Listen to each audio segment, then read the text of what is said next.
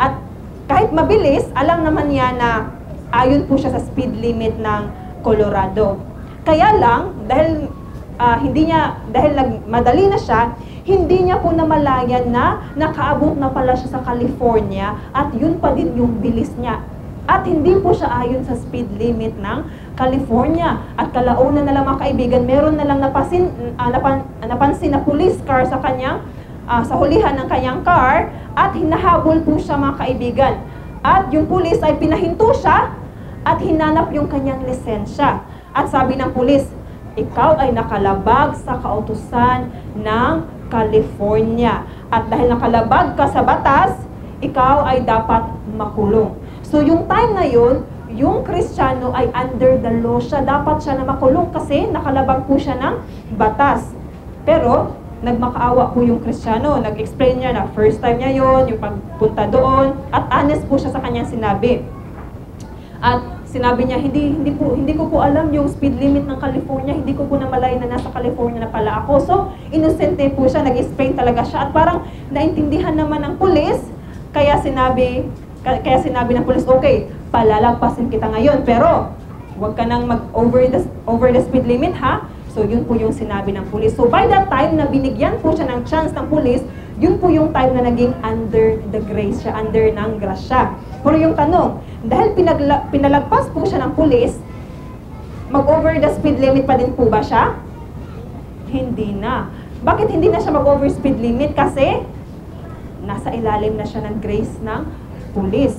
Dahil, dahil po ay pinalagpas siya ng pulis, alam na niya yung speed limit, at hindi na po siya mag-over speed limit kasi dahil din po sa kabutihan ng pulis. Dahil po sa kabutihan ng pulis. So, yun po yung difference ng under the law at under grace. Dahil sa grace, dapat na pagtibayin pa natin or tuparin pa natin yung kautosan ng Diyos.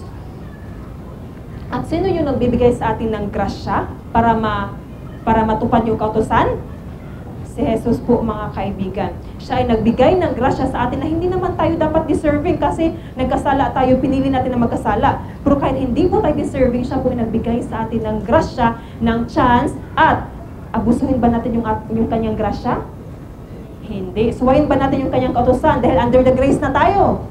Hindi, mga kaibigan. Sabi dyan, niwawalan kaya nating kabuluhan ang kautosan sa pamamagitan ng pananampalataya. Huwag na mangyari, kundi dahil nasa ilalim na tayo ng grace, pinagtitibay pa nga natin ang kautosan. Gaya ng driver na siya na po yung pinaka careful na mag-drive doon sa California dahil po sa grasya na binigay ng pulis. Revelation 11.19, yung amazing po dyan kasi yung kautosan ng Diyos hanggang ngayon ay nandoon po sa langit. Mababasa po natin yan dyan. Sabi po dito, at nabuksan ang templo ng Diyos na nasa langit at nakita sa kanyang templo ang kaba ng kanyang tipan at nagkaroon ng mga kidlat, mga tinig, makulog at isang lindot at malaking granizo. Ibig sabihin na hanggang ngayon, doon sa langit ay meron pong kautusan doon at bakit tayo hindi susunod sa kautusan kung ang mga angels doon sa langit ay sinusunod ito, mga kaibigan. Kailangan ng mundo ang kautusan ng Diyos. Kailangan ba ng Pilipinas ang kautusan ng Diyos? Yes, kailangan na kailangan kasi ito po yung susi sa kapayapaan at kaligayahan natin.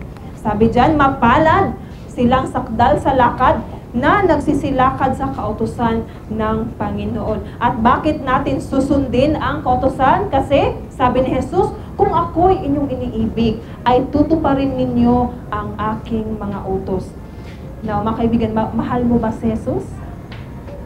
Sino po dito yung mahal si Jesus? At nais mo bang ah, hingin kay Jesus na, Lord, ilagay niyo po sa aking puso ang inyong kautusan para po ay madali ko itong tuparin.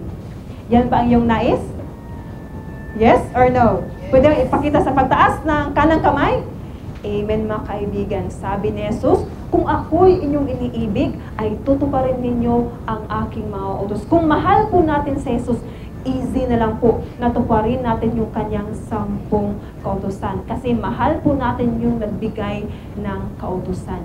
Kaya sabi dyan, may pag-asa para sa iyo, magpapalaya sa iyo kanyang kautusan. May pag-asa para sa iyo, ito'y natatanging batas ng kalayaan. May pag-asa para sa iyo na mahal ang Diyos, pagsunod walang anuman. May pag-asa kay Kristo para sa iyo. May pag-asa para sa iyo, isusulat ng Diyos sa iyong puso kaniyang kautusan para easy na lang makaibigan. May pag-asa para sa iyo, pagmamahal kay Jesus ang dakong pinagsisimulan. May pag-asa para sa iyo, kakalooban kanya ng lakas at kapangyarihan, kaya may pag-asa kay Kristo para sa iyo. Sa pagtatapos po, tayo ay tumayo to announce po bukas, yung topic natin ay the topic that Satan hates. Huwag po tayong magpahadlang mga kaibigan. The topic that Satan hates, bukas na po at invite niyo po yung inyong mga friends. Mag-pray po tayo. Our Father in Heaven, Lord, maraming salamat po dahil successful ulit yung aming pag-aaral ngayong gabi patungkol po sa inyong kautusan. Lord, maraming salamat po dahil Meron pong sampung kautusan para po magbigay po sa amin ng kapayapaan at kaligayahan. Nawa po, Panginoon, ay isulat niyo po ang inyong kautusan sa aming puso, sa aming isipan, para po ay madali po namin itong sundin. At Panginoon, gusto po namin sundin ang kautusan dahil mahal po namin kayo. Maraming salamat po, Panginoon, at nawa po sa aming pag-uwi. Protektahan niyo po kami, Panginoon, at at bring us again tomorrow para po sa isa na namang pag-aaral ng iyong salita. Maraming salamat, salamat po, Panginoon. Ito ay aking hinihiling sa pangalan ni Jesus.